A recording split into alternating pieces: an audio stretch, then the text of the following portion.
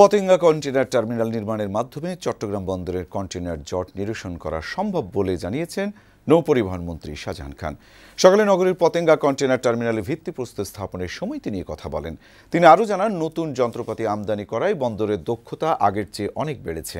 দু হাজার আঠারো সালের মধ্যে কন্টেনার জট কমার আশাবাদও ব্যক্ত করেন মন্ত্রী। পরে মন্ত্রী বন্দরের নতুন কেনা চারটি রাবার টায়ার গ্যান্ট্রি ক্রেন ও ছেচল্লিশটি হ্যান্ডলিং যন্ত্রপাতি পরিদর্শন করেন।